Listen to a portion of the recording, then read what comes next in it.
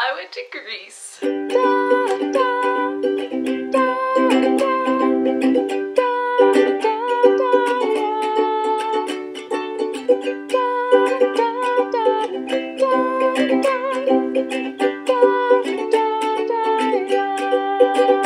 Of course, it makes the sunless 10 degrees with biting wind a little harder to take, especially when I hear it was 27 in Calgary. Seriously? When I lived there, it blizzarded in September.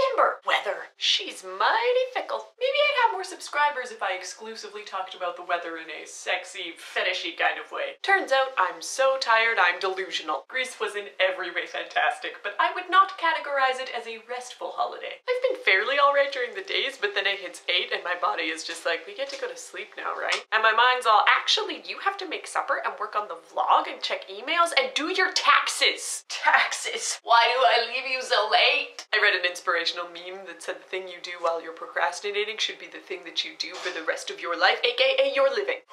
Well, believe you me, if I could build a career out of watching YouTube videos, I would. And I don't mean like Fine Bros react videos. I'm talking in my PJs with a mug of hot chocolate watching old So You Think You Can Dance routines. Maybe that's a fetish. Laura.